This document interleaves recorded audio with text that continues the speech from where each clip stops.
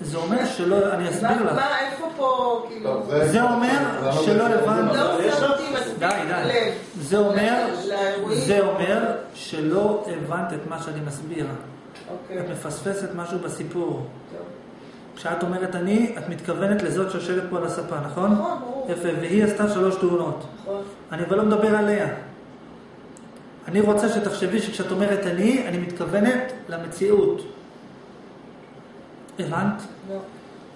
זה קשה להבין את זה. בסדר. אבל זה יפה. עכשיו, דוגמה, תחשבי שאת אצבע, תחשבי שאת אצבע, ואת אומרת אני, למי את מתכוונת? לאצבע. אבל אני רוצה שכשאת אומרת אני, תקשיבי, מתי ישנת לאחרונה? לפני עש- עשר שעות. וחלמת חלום כלשהו. כן. עכשיו, בחלום, נגיד שעכשיו אנחנו מקרינים את החלום שלך. צילמנו, מקרינים. אפשר לראות אותך שם זזה? כן. יש שם אנשים שהם לא את בחלום? כן. יפה. אבל אם עכשיו אנחנו מסתכלים, מי מחליט לאנשים האלה שבחלום מה לזוז, איפה ללכת? מי מחליט? מי שחולם. כן. מה כן? זה כבר לא, זה כבר, זה כבר עבר החלום. מה? התרחש, החלום כבר קרה. חלמת חלום לאחרונה? כן, וואלה. יפה. חלמת ואני שאני... חלמתי אותו. יפה. אז כל מה שקרה בו, קרה, כי אני בראתי אותו. כי אני כזאת שחולמת, חולמת את מה שקורה בתוך החלום. נכון? אוקיי. אז מה זה אומר? שמ... את מבינה? עכשיו, אם אני מגלה לך סוד, סוד, את כרגע בתוך חלום של עצמך.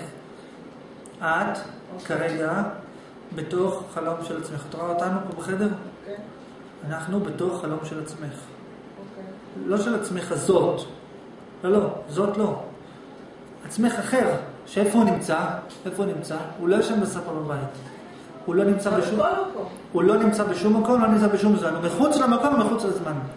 את, את, האני האמיתי שלך, נמצא מחוץ למקום, מחוץ לזמן. זאת אומרת שאת כלום, כי אם את לא בשום מקום ולא בשום זמן, את כלום.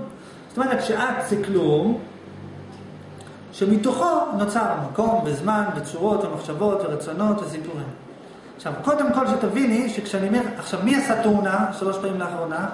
אני המצומצמת, לא אני שמחוץ למקום ולזמן, ההוא שמחוץ למקום ולזמן, הוא אוקיי. עשה לא רק תאונה אחת, הוא עשה את כל התאונות שהיו, נכון? אוקיי, אז אני המצומצם עשה את התאונות, ואני נכון. המצומצם עדיין קשה לו נכון. אה, להבין את האני הגדול ש- ש- ש- יפה. שגרם... ולמה זה ככה? ו- ולמה זה ככה? ולמה זה ככה? את גורם לזה לקרות? גם את. את שנמצאת מחוץ למקום ולזמן, גורמת לכך שאת שנמצאת בתוך המקום והזמן, לא תביני, כן תביני, תרצי, לא תרצי, כן תרצי. עכשיו, אם תצליחי להבין שאת זה כלום שמחוץ למקום ולזמן, שאת זה אלוהים, דהיינו כלום שמחוץ למקום ולזמן, שעושה את הכל, אז מצד אחד יהיה לך הכי טוב, וואלה, כל מה שקורה זה אני רוצה. מצד שני יהיה לך הכי רע, כי תגיד, אני כאלוהים לא חסר לי שום דבר, למה הייתי צריכה לסבך את עצמי בדבר הזה?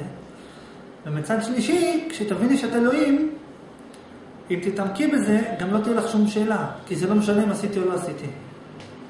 יש שלוש תשובות. גם זה לא משנה, מה שאני עושה, גם כל מה שאני עושה מושלם, וגם כל מה שאני עושה גרוע. יש לי פה שאלה רצינית. רק אם היא מבינה שהיא אלוהים. זה כזאת. נכון, נכון, נכון. זה שיטה אחת, כן, יש עוד שיטות. ואם היא לא מבינה שהיא אלוהים, אז יש לה שאלה. אם יש בורא ונברא זה כבר מצב טוב, אחר. עכשיו היא, שאלה, מה רצית לשאול? לילה טוב. טוב, אז נעשה הפסקה.